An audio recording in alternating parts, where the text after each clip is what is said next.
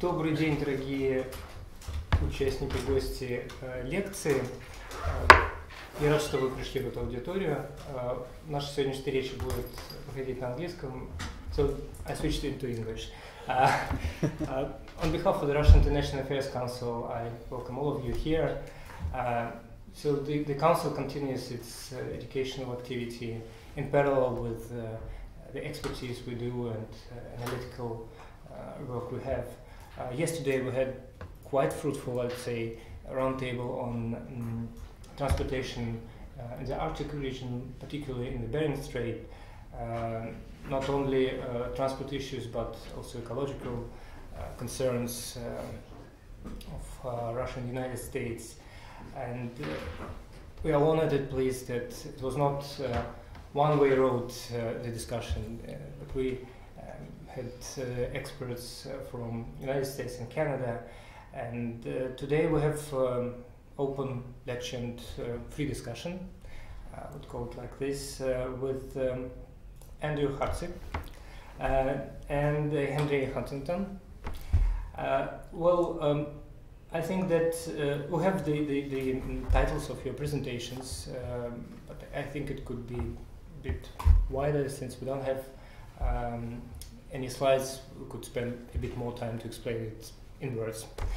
Uh, and um, we had a wide uh, uh, internet audience, so that doesn't mean that we are alone here in this oh, space. Oh, okay. So we have a web translation while we can, and we believe that it will help us to have a wider coverage of this event. Great. I stop here and um, pass the word to to Andrew. Okay. Okay. All right. So the floor is yours.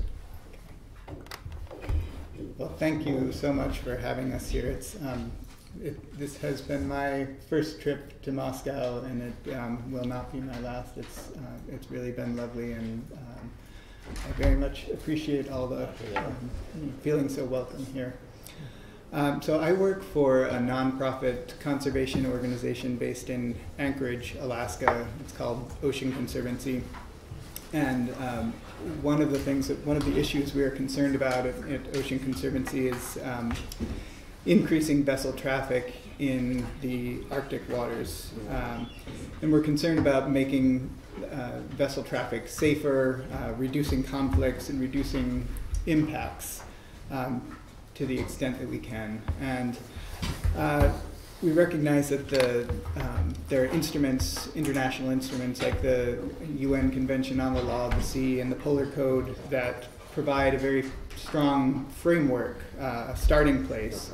Uh, but we also think it's possible to do more to reduce impacts and prevent maritime accidents um, and conflicts in that region. Um, of course, Arctic vessel traffic is still at relatively low levels compared to other places in the world. Uh, but I think being proactive and getting out ahead of the problems um, and establishing best practices now before traffic grows is, is the best policy. Um, so I, am going to focus on the, the Bering Strait as a region where the United States and Russia share common interests um, and because it's an important pinch point. It's the, the only um, maritime passage between the Pacific and the Arctic. Um, and if there's vessels traveling on the uh, northern sea route uh, or on the Northwest Passage, all of those vessels eventually have to pass through the Bering Strait to get through to the Pacific Ocean. Uh, and I'm also going to talk about the Bering Strait because it's an area um, of real interest to um, to people in the United States. I think I, am from Alaska, and uh, Alaska's ha- Alaskans have a um, an affiliation with the Arctic, but I think more broadly in the contiguous United States. Uh, people don't always recognize uh, the United States as being an Arctic nation. But when you talk to them about the Bering Strait, um, something resonates, um, and they they really get that it's an important place. Um, so the question is why people care about the Bering Strait, and I think um, there are some pretty easy answers. It's um, it's home to uh, incredibly iconic species, the you know whales, walruses, seals. Uh, there are aggregations of marine seabirds there that gather in the thousands. Um, in the south of St. Lawrence Island, in, in certain times of the year, you have almost the entire population of spectacled eiders that gather in, in this, this place. So uh, it's clearly a very important place for its ecology.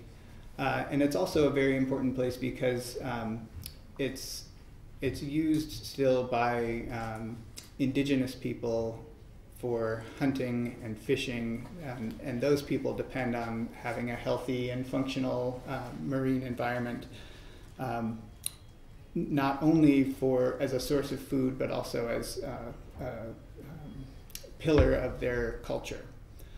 Um, so, I, I think for all of those reasons, you know, the the fact that it's so important ecologically, the fact that it's um, people live there. It's it's uh, an important place for their culture. It's a, this incredible migration corridor. Um, you know, just as ships have to travel through that narrow strait, so do all the animals that migrate um, between the Pacific and the Arctic.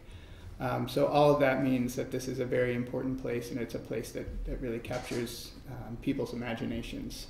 So what we want to avoid are um, maritime accidents that uh, diminish the ecosystem functioning in that place. Um, so this could happen with uh, a fuel spill. Alaska is um, infamous as the site of the Exxon Valdez uh, fuel spill, uh, oil spill. But it doesn't need to be a big tanker. It can also be, um, we've, we've had accidents or near misses with um, other types of vessels, and now there's also increasing um, tourism in the Arctic. So there will be more cruise ships going up there, um, and it's it's certainly not out of the question to an, imagine an accident with a with a tour vessel where you'd have not only um, impacts to the ecosystem from you know potential fuel spill, but certainly um, the potential for great loss of life because this is a remote and cha- challenging area, uh, and, and search and rescue um, would be difficult. And you know, at least right now, we are not well equipped. Um, so, so far, um, you know, I, I think we have not had a, a, a, big accident like that in the Arctic, um, but that's not a reason to kind of rest easy. I think it's important to be proactive. Uh, and there's probably no one single solution that's going to take care of all of the possible problems in, in the region in, in terms of increasing vessel traffic. Um, so I think what we need to do is look at a suite of measures that range from um, international to domestic and, and try and put together different pieces to address the problem. Um, so one of one of those pieces, of course, is um, like I mentioned before, the Polar Code uh, that will go into effect in January of 2017, and that um, contains provisions and standards, or at least reinforces provisions and standards um, for vessels that travel in the polar regions. It would apply um, throughout the Arctic uh, in, in designated waters under the Polar Code and the Antarctic for that matter. Uh, so it's uh, that kind of sets a, a floor for vessels traveling in the Arctic. But importantly, it, it does not apply to all vessels. It's restricted. Uh, so there are some vessels that will not be uh, covered by the Polar Code. And of course, the Polar Code does not cover all um, potential environmental or safety issues. It's, it's a good start, but we need to do more. Um, so, the, like I said, the Polar Code covers the entire Arctic region, uh, and I think that's one piece of the puzzle. Another piece of the puzzle would be um, international law that applies just to specific places in the Arctic. And there are tools uh, available through the International Maritime Organization where you can really target protections. Uh, one of those tools is called um, Areas to be Avoided and it's just like the name sounds. Uh, it's a an outline that ships uh, should not enter. So um, last last year, the International Maritime Organization um, adopted a set of areas to be avoided um, in the Aleutian Islands, a little bit further south than the Bering Strait. But it basically created a 50 mile buffer around most of those islands and left open only a few passes to get through. And the idea was that you wanted to keep the vessels as far away as possible from those dangerous, uh, dangerous waters, um, both to prevent the, the chance of a grounding and um, if something went wrong, if there was a loss of power, it would give responders much more time to get to the boat and um, you know to set up some sort of tow line or whatever the case may be. Um, a lot more time than if the boat had been just a few miles offshore. Um, so it's um, kind of a common sense safety type measure. So I think measures like that could be um, put in place in the Bering Strait region as well. Uh, and in fact, our U.S. Coast Guard is evaluating, uh, they're studying options for the Bering Strait, and that's one of the options that they're studying. Uh, another one is putting in place a specific uh, vessel traffic lane, uh, which is kind of the other side of the coin from an area to be avoided. Uh, instead of saying you cannot go into this area, it says you must stay within this lane. Um, and I think that uh, is another possibility, and, and, it, it might be that you need both. Um, to set up a, a traffic lane to increase the predictability of, of traffic, but also to set up areas to be avoided so that if vessels do have to deviate from that lane due to ice conditions or weather conditions, uh, they know that there are specific areas that they should not go. Um, so both of those are examples of site-specific protections that could be applied through international law. And then I mentioned too that another piece of the puzzle would be domestic law. And in the United States, we have um, laws like the Clean Water Act and the Oil Pollution Act. And those give us tools to um, regulate vessels under U.S. jurisdiction to ensure that they have um, oil spill response plans in place and then there are also um, flexible provisions that we're just now starting to really make use of. Um, and those provisions can help us put in place communication systems, uh, for example, automated, automated identification systems that help us track where vessels are, help us see whether there's a vessel in distress. Uh, and again, this is another tool that gives us more time to respond in advance uh, if there is some sort of problem. Um, and those systems are already in place in, in some parts of the Arctic and most parts of the, the US Arctic. So I think we have made um, great progress there.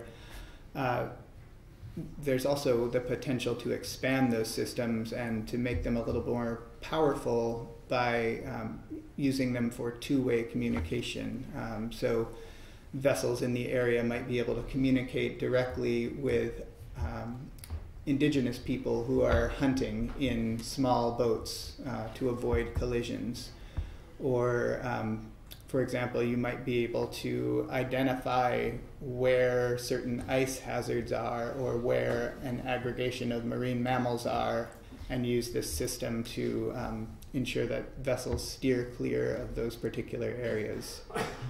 And then I think um, maybe a further evolution of that system could be used um, to combine that with an idea with the idea of an area to be avoided so that you could have dynamic areas to be avoided or dynamic protected areas that would shift in time and space. Um, for example uh, if, if you wanted to have a, an area to be avoided associated with an ice edge and that ice edge is moving you can um, create that so I think that that is not in place now, and there's um, not well defined tools to do it. But I think that is kind of something that we could uh, look forward to in the future. And hopefully, the way technology has been advancing, it wouldn't be too many years from now when that would be um, possible. Um, I'll just mention one more mitigation measure, um, and that could be, again, enforced under domestic law is pre-placement of um, emergency response assets. So um, the idea would, would obviously be to try and prevent an accident if at all possible. So you have all these other tools to do that. But if an accident does happen, you need to be prepared and ready for it. So um, figuring out where to place equipment like booms and towing packages and things like that becomes very important in ensuring that you have um, committed to actually putting those, paying for those things and putting them in place um, would be a, another important step. And then um, finally, I think there's, you know, as I talked about the dynamic areas to be avoided, I think there's also room to be um, to do more with, with communication systems using electronic navigation aids that would replace uh, expensive in the water buoys and other infrastructure. Doing that electronically and um, uh, you know saving money and allowing uh, the aids to be in the water all year long, even if there's ice. Uh, I think that's another possibility for the future, something that's already starting to happen, but you know, can probably be used more in the area um, to keep mariners and indigenous people who use that area safer. Um, so I, th- I think that that's kind of all I have, um, but the, the main idea is again that there is no one single solution to increasing safety. It will take a, a, a suite of different measures to, to make it happen. Okay. thank you, Andrew. And um, so we're happy to have uh, around this table two more speakers uh, uh, Scott Highleyman, International Arctic Director at the Pew Charitable Trust, and uh, Louie Porta from uh, Oceans North Canada. Uh, so because when we started, I introduced the, the team of, uh, of speakers. Uh, and um, so, if you don't, if you don't mind, we will follow consequently, and I'll ask uh, Scott to, oh, to, okay. to make a short introduction. I should use this. Yeah, sure. Thank you very much, Timur, and I apologize to all of you for being late. Um, but I understand when you live in Moscow, you always have an excuse. You can just say traffic, Yeah. even though we walked here. Okay. Um, I was hoping to show you some maps, but I thought I, I will instead I will challenge you to use your imagination. Um, I thought when I thought about um, what to talk about tonight, I tried to pick something a little bit interesting that illustrates um, uh, how important, uh, illustrates the way in which cooperation between Arctic countries, including the United States and Russia, uh, can play out. So, to use your imagination, uh, let's uh, imagine you're looking down at the top of the globe to the North Pole, and um, and and uh, you, are zoomed up way up like a Google map that you can imagine, and um, the uh, the land masses that surround the Arctic Ocean are from five countries. You know your coastline very well, of course. Russia's a very long Arctic coastline. Then there's Alaska, and moving west, there's Alaska. And Canada, which also has a long coastline with thousands of islands. Greenland, and then uh, Spitsbergen, uh, which, uh, and so um, if you draw 200 miles, 200 nautical miles out from those five coastlines, which um, of course, then the area of ocean that's left around the North Pole is high seas, international waters. So, by definition, beyond 200 nautical miles uh, under the law of the sea treaty. So, um, uh, that area, imagine um, until very, very recently, through all of human history, has been permanent ice. When in English, when I started working on the Arctic, scientists still called it permanent ice in English, and they no longer call it permanent ice. They call it um, uh, multi-year ice because it's not. It's proving not to be permanent. And so, from the time when uh, Homo sapiens first started leaving uh, Africa, the coastal plains of southern Africa, and migrating uh, to all the other places in the world this area has been has had multi-year ice, had permanent ice, until very very recently. In 2007, 40% of this area was um, no longer with permanent ice, was ice free in September at the end of the Arctic summer. also in 2012. Every year, I would show you a really nice graph. You can imagine it. Every year, the uh, the amount of ice changes due to uh, the annual variations, but the overall trend is very clear in the last um, 20 years that uh, the ice is melting. So um, that 200 mile uh, limit that I described has never mattered to anybody except a few uh, lawyers and experts. Because uh, if you think of it as a red border or a red line drawn 200 miles, it was always under ice. All of a sudden, it matters because in the high seas, the way international law works, um, fisheries is allowed unless countries come together and make an agreement. And so uh, in the high seas, it's, it's, it's called unregulated fishing, and we try and countries try to frown on it, but in fact, it's how fisheries has been pioneered all around the world through all of human history. Well, what about the Arctic? Is there, there's a danger in continuing to do it that way, which is that fishing fleets can show up before the scientists actually understand what's there. And uh, commercial fishermen, I support commercial fishing, and I have many uh, friends who are commercial fishermen they're very, very, very good hunters. Humans are incredibly good at this. and so the fishermen are so much better at finding the fish than scientists that uh, by the time scientists show up, they also are very good specialists. They study what's left. But in fact, you don't actually know what was there originally and how, what, how, did, it, how did those fish support the overall ecosystem. So um, the, um, the question was, is, uh, can we be smart enough this time to actually uh, establish through scientific study what's actually up there before fishing fleets sh- magically show up and start fishing? Um, the, um, the place, uh, because um, also because of the way the law of the sea treaty works, the five coastal nations that I mentioned have special rights and responsibilities as the coastal nations, but not exclusive when it comes to fisheries. So, in fact, it's perfectly permissible for uh, countries from in, from India, from China, from other places to go and, and prosecute these uh, these fisheries. Fortunately, it hasn't happened yet, and so this is a rare case uh, in environmental issues where um, we actually have a chance to prevent a problem.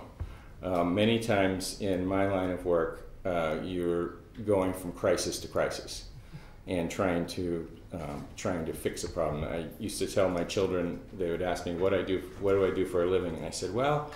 Uh, what I do for a living is I put my hands out and people come and put broken eggs in it and say, Can you make something out of that? because the environmental problems usually are so severe that we're scrambling to catch up. So, this is a very fun issue to work on. Um, and uh, in, to fast forward, um, what ended up happening was um, when um, um, we and others like us were able to start talking to um, first uh, both the fishing fleets and the governments and the scientists in those countries, it turned out that none of the five coastal countries really wanted to start fishing there. In other words, each country, like the Russian fishing fleet, the Alaska fishing fleet, plenty of places to fish in their own waters. And they actually haven't even finished exploring. Russia hasn't even finished exploring its own waters. The United States has very few uh, surveys of fisheries in its waters. And so, um, so that's good because you don't have an industry that's, uh, and you don't have jobs at stake yet. Also, another novel, um, a nice novelty for environmental issues. Um, and, um, and when talking to scientists, they also acknowledge that they have almost no knowledge about the, bio, the biology of this region. Of course, yes, they know a lot um, about the Arctic region in general and how things work, but most of the studies are along the coastlines for obvious reasons. Really difficult to get to this high seas area. Um, and so um, I won't go through all of the details, but um, we fast forward to July 2015 when the five coastal nations all agreed, the Arctic coastal nations all agreed that uh, they signed a voluntary policy statement called the Arctic Fisheries Declaration that essentially said, we agree that science needs to take place and that it's premature to allow fisheries to start here. Uh, and so we are now we're stating as a voluntary policy that we will not allow our individual fishing fleets to um, to start fishing there.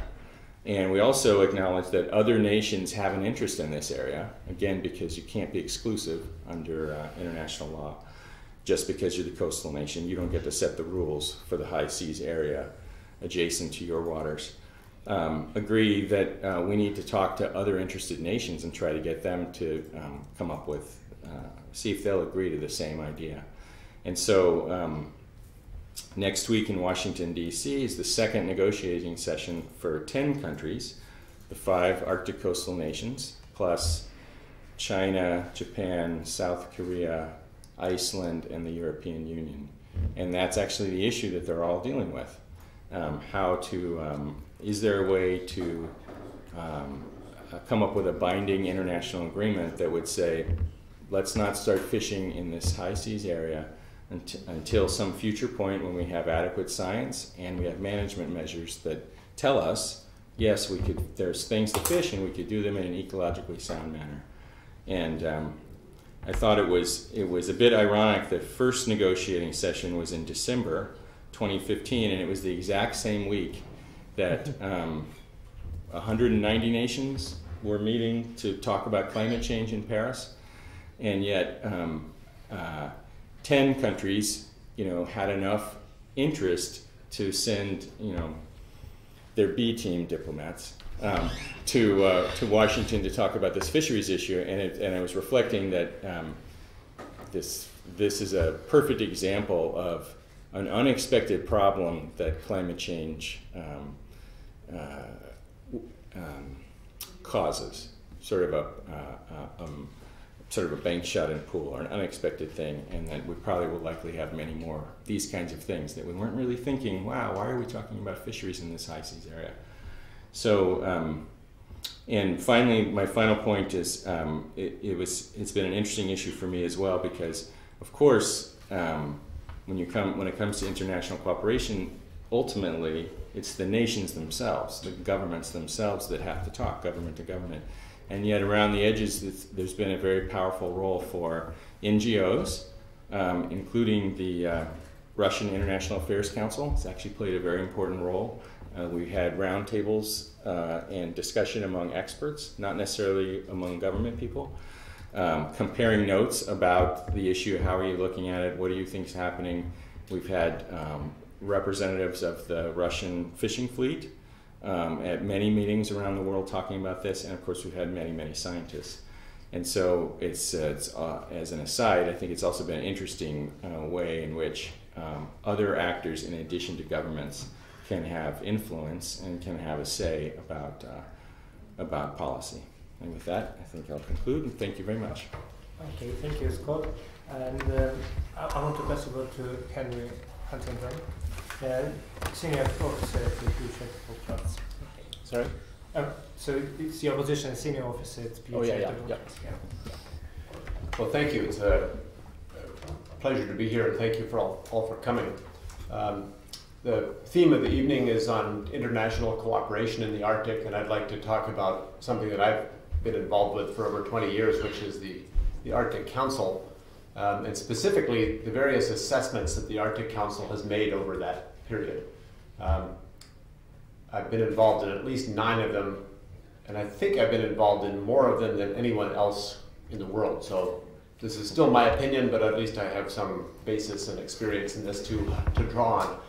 Um, so it's interesting to think about how these assessments reflect cooperation, both in preparing the assessment and in the influence that the assessments have afterwards.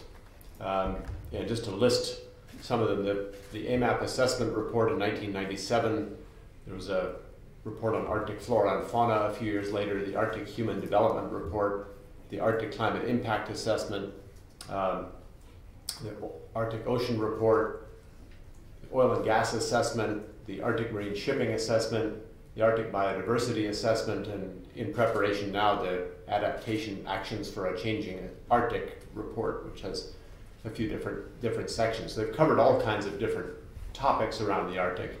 Um, if we think about them in terms of their sort of scientific merit, some have been very, very good. If you look at that first AMAP assessment in 1997, that was very high quality scientific work and, and very strong and I think set a very nice standard for work on environmental contaminants around the Arctic. Similarly, the, the Arctic Climate Impact Assessment was published in 2005, but it continues to be cited by, by people because it did such a good job of summarizing the key issues about, about climate in the Arctic. Um, you can also think about it in terms of, say, the, the influence that they've had on policy. Again, that first AMAP assessment report in 1997 played an instrumental role in leading to the Stockholm Convention on POPs, persistent organic pollutants, in 2001. And so its influence on policy was very strong. And I'll come back to how it had that influence on policy. Uh, if we look at the Arctic Climate Impact Assessment, very strong scientifically, but getting constructive policies on climate change has been very difficult. So the extent to which it's actually produced a, a good policy outcome is perhaps a little more debatable. If we look at the Arctic Marine Shipping Assessment, um, I don't know that that was the best scientific document ever, but it was very good at drawing attention to the questions of Arctic shipping and leading to things like the, the polar code that Andrew spoke about earlier. I think it was very effective in catalyzing a lot of interest around a topic that until then had been largely ignored, or at least ignored at, a, at an international level. You know, Russia had paid an awful lot of attention to the Northern Sea route internally, but not much had been done to, to pool the knowledge that we had about shipping all around the Arctic from, from the different countries. So I think some of the assessments have been very good at drawing attention that way. Some have been very good at, at achieving the science. Um, I'll come back to the policy questions in a moment. The other thing that's interesting to think about with these assessments, you can talk about them broadly as signs of international cooperation, but not every country contributes equally to each assessment, and we can see a lot of variation. That first AMAP assessment report, the US did a terrible job. If you look at many of the maps that they show of the contaminant levels around the Arctic, Alaska is a gray area. It's a blank. There's no information. Because the US could not be bothered to put, to put their information in. Other countries contributed a great deal and made, took it very seriously. For some reason, the US just didn't try. If you look at the Arctic Climate Impact Assessment, the US led the effort, provided most of the funding. There were many lead authors involved in, in the different chapters and so on. It was a very strong effort. So you can see a huge variation. Um, and I think that's true for other countries as well. Some, some reports, some of these assessments, different countries have been very uh, active in, and other ones they aren't. And I think there are a variety of reasons for that some topics are of more interest to some countries than others. That's fair. Some country, some issues touch on things that make countries nervous about national interests. The oil and gas assessment is a good, a good example. We're sort of. A, some kind of problem. So, Where? Switch. No, no, your cell phone. Ah, Okay. okay, electronic interference. Um, but if we look at, uh, the, we're on the questions of why some countries are interested. Some, if you take a topic like oil and gas, this is, some countries see this as threatening. If the report says, well, oil and gas is very dangerous in the Arctic, but countries are relying on Arctic oil and gas, take the state of Alaska oil and gas is extremely important for the state's well-being. With gas oil prices the way they are now, the state is having some, some real trouble and doesn't need an assessment that says, oh, this is not a great thing. So there's a lot of sensitivity about some of the, the topics that are there. Um, it's also a question of sort of expertise and funding. Sometimes you, countries have the experts to contribute to a certain topic. They have the funding to support those experts. Sometimes they don't. So it can be a little random. The other thing that I think is essential is leadership. Some of the assessments have had really good leaders who've done a lot of work and have been very effective in encouraging other countries and encouraging experts to take part and getting them to be productive contributors. Other ones just have not had that benefit. Whoever is leading it either doesn't have the time, doesn't have the effort, doesn't have the, the skills and the personality to be an effective leader. And so having having effective leadership both within your country and to work in, in other countries and encourage contributions is, a, is an essential part. Now, back to this question of policy. So, the Arctic Council has been very good at generating these assessments and helping advance the, our understanding of these issues and public awareness of many of these topics and so on. In my opinion, at least, it has been far less successful as a group in promoting a good policy response. I mentioned that the, the first AMAP assessment in 1997 helped produce the Stockholm Convention on POPs a few years later. That was not because the Arctic Council took action. It was because Canada took that report and played a very strong leadership role in the, the international negotiations on POPs and really used the Arctic information to make the case that these were pollutants being used in low latitudes that were finding their way into the Arctic and accumulating. And that this was a serious global problem if things that were being used in the tropics are being found in high levels in the Arctic. And that global action was needed. Canada was very effective in delivering that message using the information generated by the Arctic Council, but the Arctic Council played a very small, if any, policy role on that. And I think that's true elsewhere. If we look at the Arctic Marine Shipping Assessment, it's been a big help in getting things like the Polar Code um, enacted.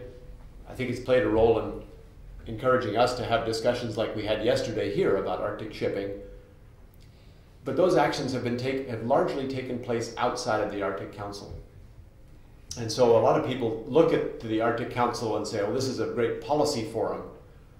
I don't think history bears that out. I think it's a terrific forum for doing these assessments, for getting attention to a topic, for galvanizing people's energy, for providing a forum where we can pool our information and advance what we know. Beyond that, I think the policy things tend to be carried out in, in other places. And I think that's worth thinking about if we think about the directions for the Arctic Council, what it can achieve, and what we can expect from the Arctic Council. Uh, so if we think about international cooperation in the Arctic, again, maybe it's to, the one way to say it is it, it's a safer area, it's a, a, an easier area to collaborate to say what can we do to, to pool our knowledge, what can we do in science. It can be a harder thing to decide that we want to figure out how everybody's national policy compares with this particular issue and what we want to do. Or there may be topics where it's just not appropriate to be discussing that with all eight countries around the table.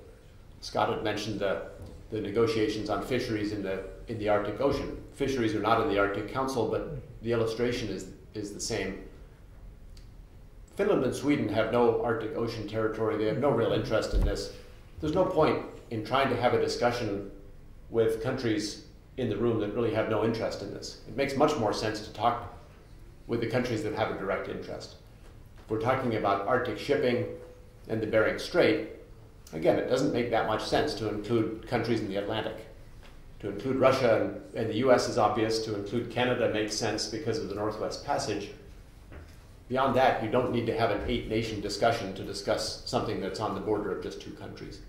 So I think thinking about where the appropriate places are to address the, the, the policy needs is a, is a good thing.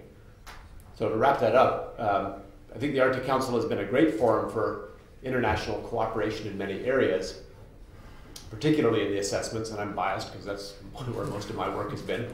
Um, but I think on the policy side, there are other, other venues that are more effective for international cooperation, building on the work that's been done under the Arctic Council. Thank you. Thank you, Henry. And uh, I think we're happy to have the majority of speakers from the United States since the United States is holding the chairmanship uh, in the Arctic Council, and uh, I believe uh, the participants will have some questions and uh, challenge you with, with these questions concerning the American chairmanship. Uh, but um, we all know that uh, the greatest powers in the Arctic are the countries with uh, the longest coastline. It's Canada and Russia, and we're happy to have Louie Porta from Canada. So the floor is. Thank you for not forgetting about Canada. um, also, just like to echo the sentiments of my colleagues. It's a pleasure to be here, and thank you very much uh, for organizing this event. Um, I have a quick question, though. I know there's no uh, PowerPoint, but can I? I have a, a 30 second clip of a sound. Is that something I could play just from the computer? Why don't I?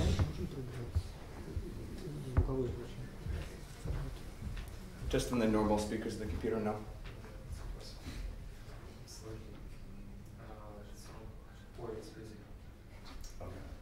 Unfortunately. Well, You want us to do it for you? you know, I, I, uh, Scott, I can't, I, I cannot sound like a beluga whale or a boa, so you'll have to do extra imagining. Um,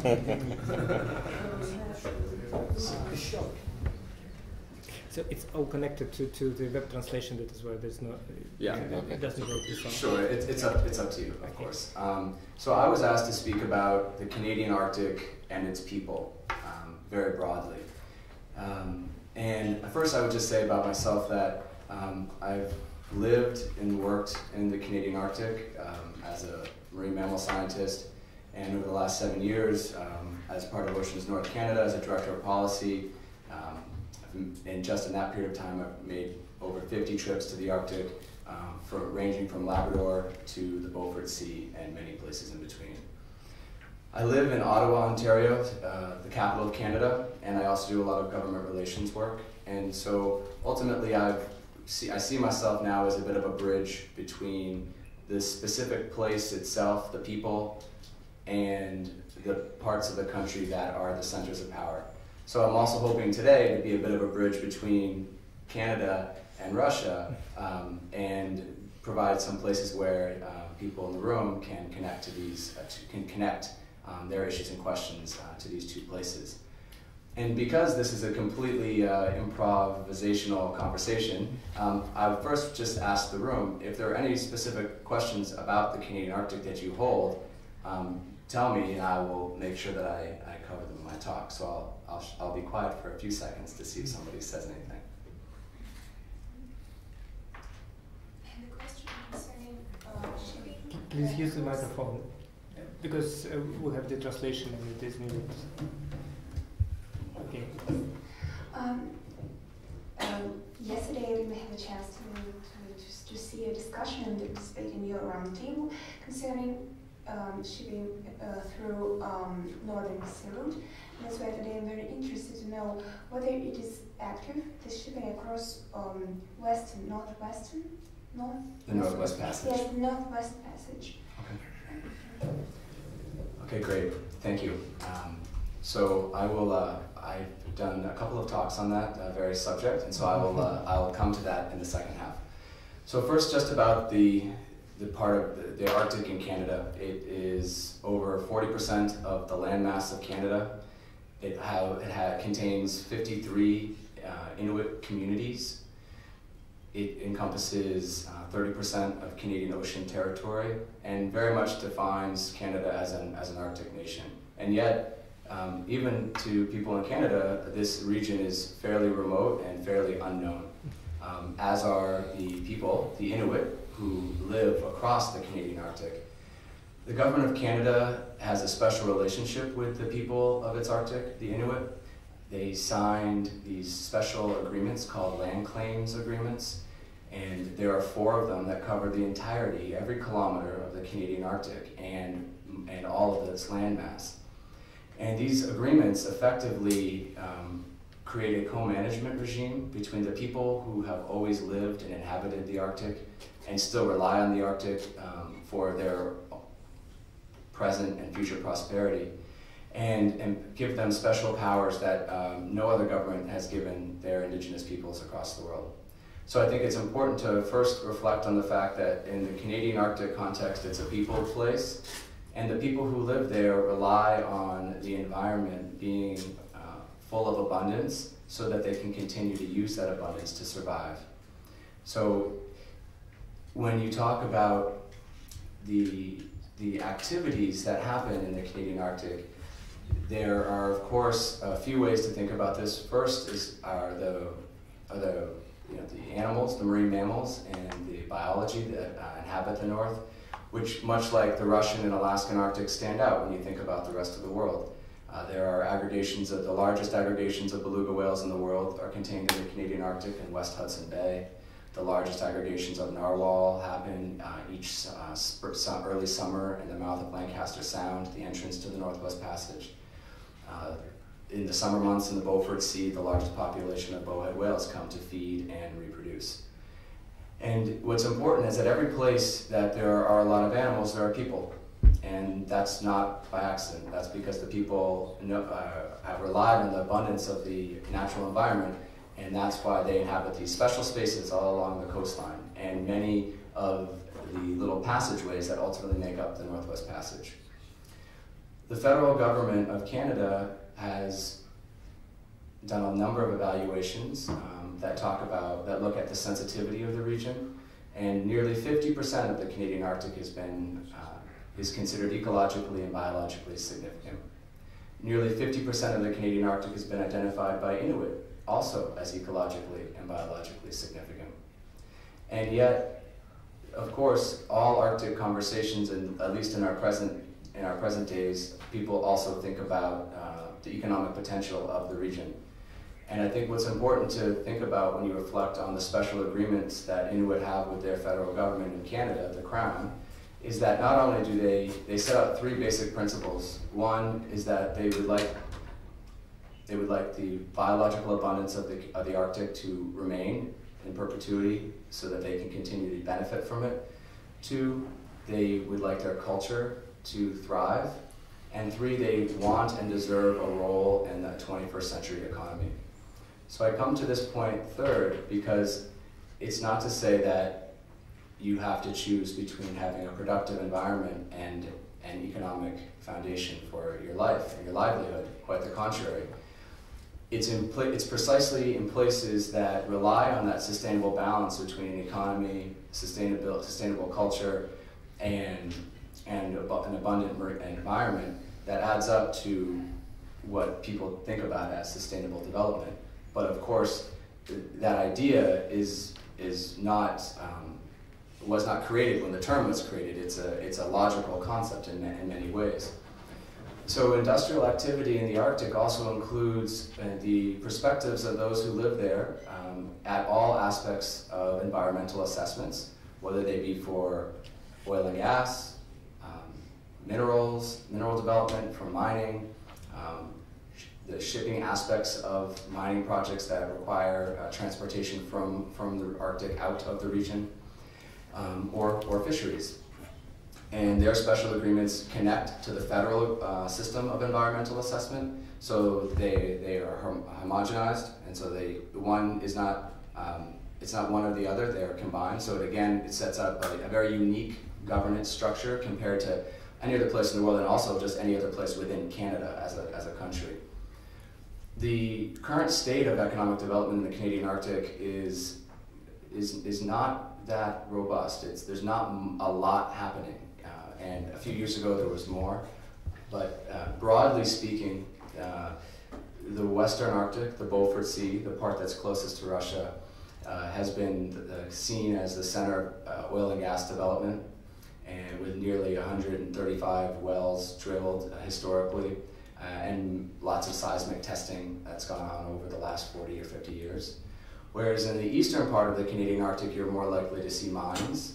Um, and currently, the potentially the largest uh, mining project ever in the Canadian Arctic, called the Mary River Mine on North Baffin Island, um, is in its final stage. It's in sort of a, it's been in a prolonged period of environmental assessment, but it's nearing a, a conclusion in terms of uh, the rules being set out for what, how that mine will operate. And then, of course, there's the, the, to go to your question, there's this idea of things that go in between, the, the, the Northwest Passage. So the Northwest Passage, of course, is, uh, and shipping in the Canadian Arctic, much like in the Russian Arctic, is both historic and emerging. You know, if you look at the, the place names of every strait and every island across the Canadian Arctic, you find names of a lot of Englishmen. and, that, and that's because people brought boats there. If you go to traditional place names that predate those English names, you have another set of names, names that um, go back millennia. So people have been there for a long time, and the passage is really a series of passageways which really distinguishes it um, from the Russian context. It's really, it's not a sort of a large marine mm-hmm. space. It's a network of nearly a thousand uh, islands in a very interesting archipelago. Um, and as a result, the passage is a passageway for humans, it's a passageway for vessels, it's a passageway for birds, fish, marine mammals. And it's helpful to think about the passage as, as a series of passages, at least for me. It helps to, to understand the fact that uh, you need to, any kind of governance structure or any approach to shipping in this area needs to recognize that there are a lot of different types of things using the exact same places to get from one part, uh, one place to another. And there is no separating them. So it's not if you have a, a large open ocean area and you say, well, I'm going to go here, and I assume if I make enough noise, the whales will go over there, and that won't be a big deal. But if you have a, a small strait that's uh, 50 kilometers wide, then you don't have those options. So the, the Northwest Passage, uh, as sort of as an emerging place of interest, is also part of Canada's sovereignty claims over its northern waters. It's an important, incredibly strategic area for the, the Canadian government and, of course, those who live there. And the so recent history of shipping in the region is uh, quite different from the Russian context in the sense that it's been, it's, it, the numbers of vessels are quite low compared to what happens in the Northeast Sea Route. In 1980, there were three complete transits of the Northwest Passage and maybe 100 individual vessel movements from within the passage. Um, if you fast forward to 2014, you have 28 complete transits with nearly 300 intra, intra uh, passage uh, movements. And what's important to think about that is, is Canada, some countries encourage things and some countries discourage things, and that's not necessarily because one thing is right or wrong, but because people are ready for certain activities at certain times. So in Canada, Canada is not at a point where it's encouraging transit shipping through the Northwest Passage, precisely because Canada has two icebreakers that can actively service the area um, for most of the year. It has less than 3% of the Canadian Arctic is charted to modern standards. There is not a single port, deep water port in the entire space. And fourth, uh, there is an absolute paucity or a complete lack of supporting nautical infrastructure, you know, um, that for mariners to rely on and to ship safely through. And of course, even though ice is, is receding, uh, as Scott said, it is a, it, it comes and it goes. So in certain parts of the passage, you're seeing longer open water seasons. In some parts of the passage, you're seeing equally treacherous multi-year conditions. And you know, leading uh, ice specialists actually said that the most treacherous time for shipping in Canada's Northwest Passage will be in the next decade, as the large multi-year ice that inhabits the high arc part of Canada's Arctic starts to break up and flush through this set of straits. So the talk that we did, uh, that I did yesterday and this morning, was about the idea of creating a set of integrated Arctic shipping corridors that would uh, help the Coast Guard keep vessels where they were best able to be serviced, um, would factor in traditional Inuit use of the area, would factor in uh, seasonal and annual environmental considerations and, uh, and special areas, and would find the safest routes for mariners based on the prepared, the general preparedness of the region. So all this is to, to sort of to wind up here. What I think is really interesting about the Arctic and in many places in the world where humans have, where sort of modern human society hasn't fully uh, in, immersed itself, is that there are opportunities, again, just like Scott said, to, to make new mistakes, to to take policy challenges that we have made certain, we've done certain things with over human history or other parts of the world and do it differently here. And to, and to learn um, from that we, if we could, if we could take back and not, you know, fish out key areas of the Grand Banks, we would. If we could go back and not bottom trawl along all of our coastlines, we probably would. So if we could go back and we could create areas of, uh, protect areas of special ecological and human importance so that those areas were permanent and so you could have sustainable development at the same time, we probably would. But the problem is oftentimes we may be 100 or two years, 100 years past those, those moments. I think the Arctic offers a special moment, and in Canada, it's a very unique um, time for its people, uh, for its wildlife, and for the government that uh, ultimately sets the rules. Thanks. Okay, thank you, Louie. Uh, I think that we'll have uh, 20 minutes for questions, and uh, so we'll open the, the second part of our meeting. So, please, and please introduce yourself. Yeah, of course. My name is Konstantin Zgurovsky. I am Marine Program Coordinator for Volga Life Fund Russia. My question for you, gentlemen, uh, do you see any lessons learned in the Antarctic which could, be, could be used for the Arctic? And if not, why? Thank you. You go ahead. Okay. Who wants it? Any ideas? All right. okay. Uh, You want it or I'll? Yeah. Well, I, I will, I will give you some reasons why I think they are different. Um, and of course, the, the Arctic is an ocean surrounded by continents, all of which, all of the different countries of which have an interest. And the Antarctic, of course, is a continent where everyone has agreed we're going to, to stay out except for scientific purposes. So um, the, the Arctic Council um, that Henry talked about, I think, has kind of done a good job of assessing issues and problems. But they've uh, those same Arctic nations have also agreed um, that there will not be any kind of similar treaty to the Antarctic. Um, they have stated in pretty clear terms that they think that the international norms uh, and and uh, individual treaties that you know are, are already in place are sufficient, uh, and there's no need for uh, something akin to the Antarctic. And I, you know, I think that's largely because of this, you know, reverse situation where you have countries ringing this ocean that all have interests at stake, and um, they're not willing to cede those interests just yet. Go, huh? Yes, Henry. It gets me do eventually. Well, just, uh, I think that's right in many ways. The legal regimes are, and the geographic position are almost direct opposites. On the other hand, I think they're perhaps one big thing from the Antarctic that would be nice to see in the, in the Arctic, and that is the, the, uh, the sense of cooperation around research. And even during the height of the Cold War in the Antarctic, there was good collaboration back and forth. And I was in the worked in the Antarctic in 1982 and 83. A Russian scientist spent the winter at the South Pole, the U.S. station. U.S. scientists had visited Vostok station, the Russian station, and so on. This was this was normal. It worked very well. Um, also, access everywhere around the Antarctic was open. Of course, neither the U.S. nor Russia recognizes any land claims in the Antarctic, so it's a little different. But I think there are some good examples of access and some ways to improve scientific access around the Arctic. Uh, we just learned yesterday about the, the efforts to build uh, an international station near Arkhangelsk.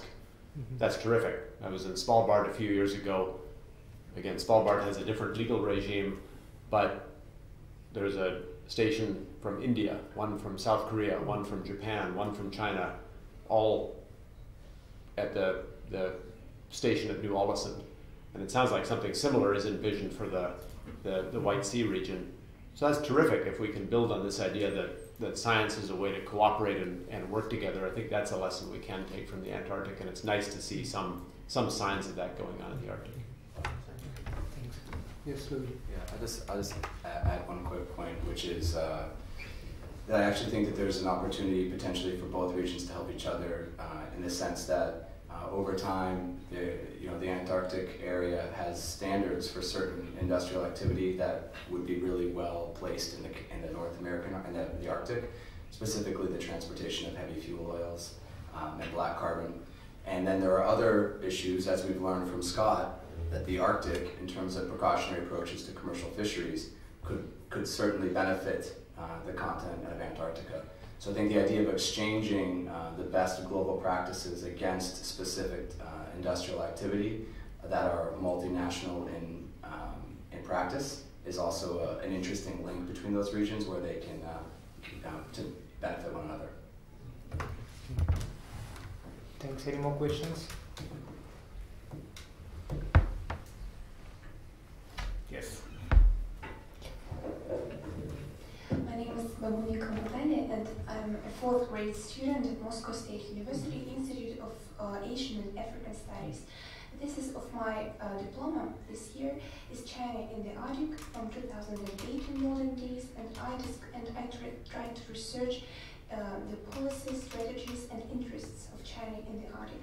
And uh, I have a question to Mr. Huntington concerning China's participate, participation within the Arctic uh, Council, because I know that in 2015 it finally gained uh, permanent observer status. And how does uh, China act itself within this Arctic Council? And anything you can say about um, the real importance of the Arctic for China and uh, especially shipping, transportation. Um, there yeah. Thanks. It's, a, it's a good question, and it's hard. It's hard to say, mm-hmm. especially in the Arctic Council context, because the role of the observer countries is to sit and observe. Mm-hmm. There, if, if there's a table like this where the different the members of the Arctic Council are discussing things, China sits over there in the back. Backbench. Yeah, backbench. And so it's it's hard to see. I mean, there, we've we've had a we had a meeting in Shanghai a little over a year ago, and many of the Chinese participants were still talking about how how excited they were that they were members of the Arctic that they were observers at the Arctic Council, and we were thinking, why? Okay, it's nice that you're there. It's terrific. I'm, we're glad that you're excited, but what does it do? Um, I think it'll be interesting to see with a little more time whether China starts to, to find a way to contribute, I mean, to, to take part in these assessments and, and to do other things. Um, and it'll be interesting, I think, to see whether how long China remains satisfied with this secondary backbench role. Um, Scott had talked about the, the Central Arctic Ocean fisheries. There, it's interesting that I mean, again, their enthusiasm about the Arctic Council was that they they thought, well, this would be a great place to talk about it. Well, for a variety of reasons, the Arctic Council is a terrible place to talk about fisheries. And we were saying, why don't you have a dif- different forum where you sit at the same table? Why do you want to take it to a place where you're in the back? And you know, gradually that seemed to sink in as, oh, well, we could be, we could, and I think it's important for China to be seen to be an important uh, country in the Arctic, so that so that they're they're included, so that they're not being left out. Um, it's funny, China even has a phrase they describe themselves as a near Arctic nation. So I think Manchuria is near to the Arctic apparently. So take that, keep that in mind. Um, but I think that it's also a very interesting question of how they portray their interest. There's a lot of people. There's a one uh, Chinese academic, Kai Sun, who talked about this and said, "Oh, the fear is that the Chinese are coming. The Chinese are coming." Iceland had been very nervous about the proposal for a very large investment by Chinese businessmen in Iceland. You know, Greenland has seen it as a chance to find funding for mining and so on, but they're not too sure. Norway's not. They well, they have their own issues over Nobel prizes and things. Um, so there's some concern. On the other hand, I think China would like to be seen as a good constructive contributor. They have an icebreaker. They they take part in some of the again some of the scientific collaborations and so on. They'd like to be seen as a as a partner. And I wonder if that's some of their motivation behind a strong interest in the Northern Sea route. It's not yet clear whether the Northern Sea route really is economically a great idea. But I think China doesn't want to miss that opportunity.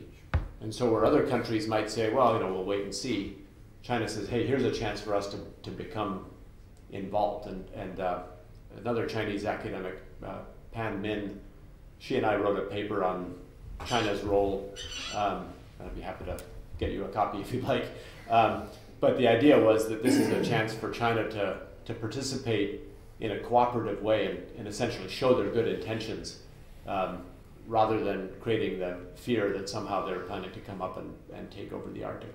And I think they've been, you know, Kai Sun and others have been clear, they've been trying to be clear that despite some misstatements or mistranslations, they recognize that all the land in the Arctic is already part of a country. They're not coming up looking to claim Arctic territory because there's no Arctic territory left to be claimed. but I think some of the early the early messages from China made it sound like they were looking up to come to a place to plant the Chinese flag. Th- That's not what they're doing. And I think that that message is getting through a little clearer. And I think the Arctic Council is a way for them to show that they're being cooperative. I think they're probably looking for more opportunities as well. If I can a bit contribute to, to this topic and share with you uh, my own uh, vision, a bit of geopolitical vision on this issue, um, I think that uh, this activity of China is a trait of uh, rising power in, in the global arena, and it's um, the way how rising powers try to test their capacity to work in um, extreme conditions, whether it is uh, conflicts, uh, international conflicts, or extreme climate conditions. so here's uh, like a positive experience to work in very, um, very extreme conditions like uh, the north, um, the Arctic. Uh, whether they can cope with this or not, and that makes uh, rising powers uh, proud of themselves if they, if they can. It's a really interesting idea. We, a couple of us, some of us were in uh, South Korea a couple weeks ago, and I was having a similar thought that South Korea has an icebreaker. And is that now the mark of status that you're a you're a big maritime country if you have an icebreaker? The U.S. is soon not to be a major power by that standard, but uh, South Korea, Japan, uh, China all have icebreakers. They're all using them actively. So I think there's a that's right to show your capacity either you go to space or you go to the Arctic. So just practically the same. There are some publications even uh, from within the political science uh, research, uh, um, new spaces of uh, political activity, space and the Arctic. Uh, so you need to search for these publications. You'll see some uh, similar uh, way of thinking, I would say. Uh, okay, yes, please. Thank you. Uh, my name is Vladimir Prekin. I am from the Russian State University for the Humanities. Uh, my question uh, would be uh, what, um, are, in your opinion, the prospects for a positive decision, positive for Russia, decision in the United Nations on the uh, Lomonosov and uh, Mendeleev uh, ridge issues? Thank you.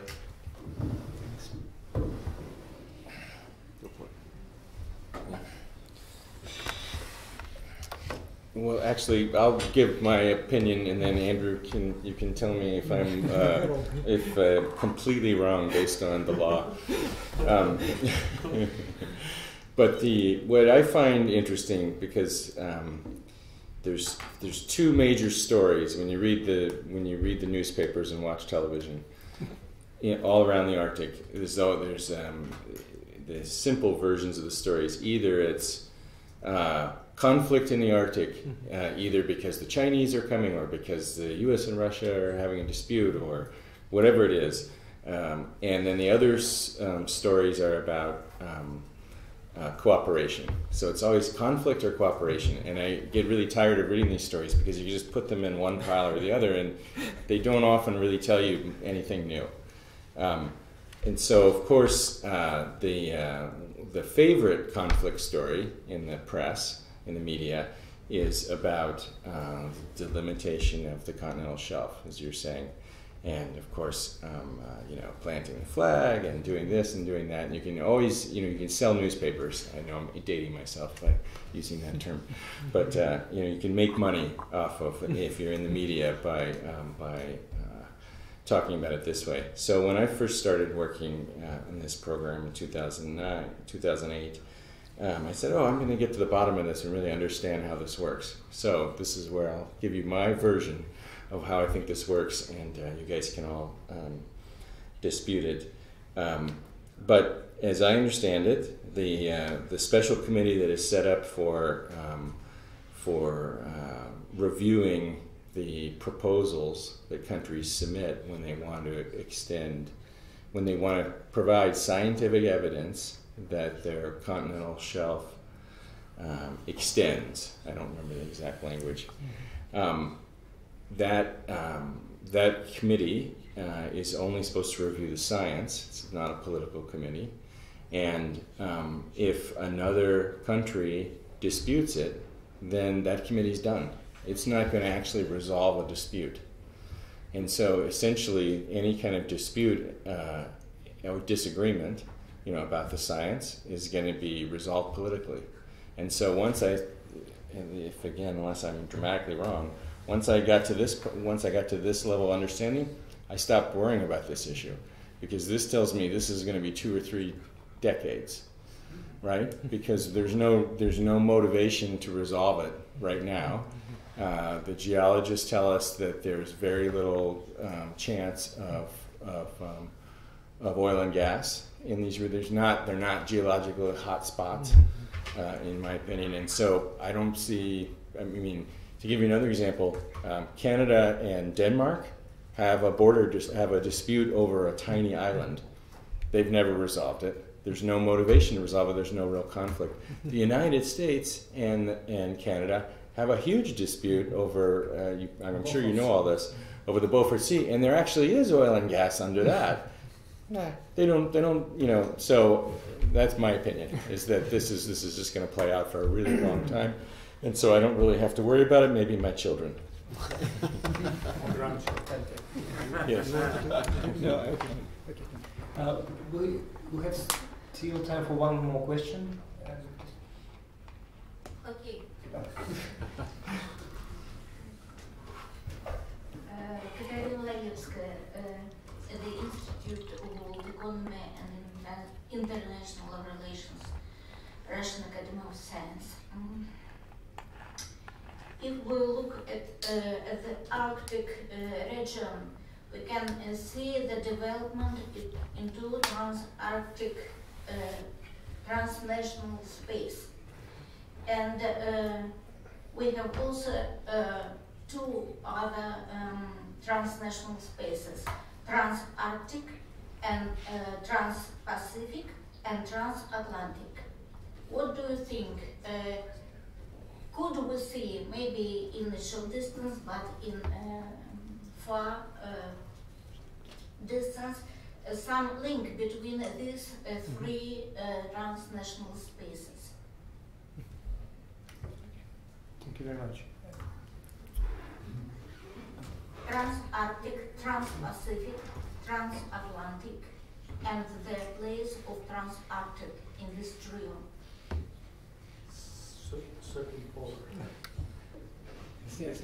Um, very, very long uh, future. Yes, I mean, I, I think um, certainly one possibility, and, and if we had slides, um, Henry could show his slide where there is a, um, a route, a shipping route that basically goes over the top of the North Pole, and that could, of course, connect mm-hmm. um, all three of those spaces. But even now, those spaces are connected by the Northern Sea Route and um, the Northwest Passage, but the levels of shipping, at least, are very limited right now. Um, and the, in terms of the different types of shipping, so far at least, it seems like the Northern Sea Route is, you know, a fairly limited niche. You don't see um, a whole lot of cargo shipping uh, where speed is of the essence and timely delivery is of the essence. Um, so I, I, know you asked about the, the long term, but I think at least for the foreseeable future, those shipping routes may, um, and this is purely my opinion, but it, it may be that those shipping routes are more limited in um, in volume of, of vessel traffic and also in type of vessel traffic, just because they will not be economic or reliable for certain types of, of um, vessels or certain types of economic uses. Um, from the political view? Well, I, I think from the political view, there really is uh, no difference and you know they all fall under this same regime of the law of the sea there's there's certain special places like the the Bering Strait that's an international strait this kind of pinch point but um, in terms of ships traveling from from one space to the next. I should mention the other, you know, important uh, difference, of course, is this, the uh, Article 234 areas where there's, you know, ice covering uh, the ocean for most of the time. That again is something that could change in the future, um, the extent to which that article applies. But right now, I don't really see a difference in the Arctic, except that it is a relatively new space. It hasn't been used in the same way as the Pacific and Atlantic spaces. Um, I'm not sure if I've answered your question, but. Okay. Yes, go. And there's a, there's another interesting um, connection between those spaces that your question brought to mind, which is um, um, uh, we're discovering biological connections that haven't existed before, where ice blocked that permanent ice that I talked about really, in some ways, for some things, really isolated the Pacific from the Atlantic. So, for example, I think it was 2008 or 2009, scientists in uh, eastern Canada discovered uh, a species of plankton that was a Pacific plankton, a species of plankton that had only been in the Pacific, you know, that we knew of and that the uh, melting of the ice had actually probably permitted the speculation had permitted a migration for the first time in I think they said 800,000 years or something, you know, some very large number. Henry always, um, who's our scientist, is always correcting me for my grandiose uh, rhetorical flourishes when it comes to these sorts of things. So I'll take the microphone away from him. but, um, but, there's also um, there's also migrations uh, of Pacific salmon that they've also fa- uh, that, that um, just recently, actually just uh, yeah, and again, actually, Henry's co-author of this paper that I'm describing. anyway, you see my point. It's actually another interesting uh, point about uh, connections of these spaces, um, the biological connections that may be sure. novel. As a co-author. As a co-author. Well, I'll, I will not correct Scott. He's my boss, um, only in private. Uh, but uh, what, what's interesting to think about those those three areas are the fact that there are also areas where the U.S., Canada, and Russia are all involved in all three. And so it's interesting, as Scott said, to think about the the uh, the way the relationships may differ. So if we look at the U.S. Canada, we generally we're very large trading partners. We get along very well. And in the Arctic, we fight about the Beaufort, and we fight about whether the Northwest Passage is international waters. So some of our biggest conflicts with Canada actually happen to be in the Arctic. On the other hand, with Russia, you know, Moscow and Washington often have problems. When it comes to cooperation across the Bering Sea, we work together very well. And so in some ways, the, the Arctic space plays out differently than the, the patterns that have been established for such a long time in the, in the Pacific and the Atlantic. Um, and so I guess the, the long-term question is, does the possibility of better cooperation in the Arctic help improve relations in the other places too? Or do our old habits of what the way we behave in the Pacific and the Atlantic eventually just transfer themselves and erase whatever cooperation, so we wind up falling into the old patterns in the Arctic too. I hope we get a chance to do things a little bit better in the Arctic and that that spreads, but we'll see.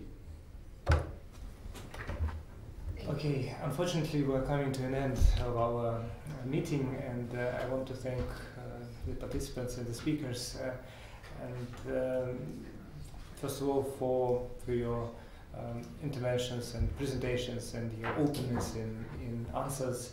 Uh, I think we, we will appreciate uh, your experience and your eagerness to share with us your impressions on cooperation in the Arctic region. And I want to refer once again to the publication activity of Russian International Affairs Council. We do like small readers on different topics on the Arctic issue as well, like Northern Sea route, a collection of articles, and uh, I believe by the end of the year we will have um, a number of publications like articles and working papers. So please follow uh, our website. Thank you once again and let's meet again mm -hmm. probably next year.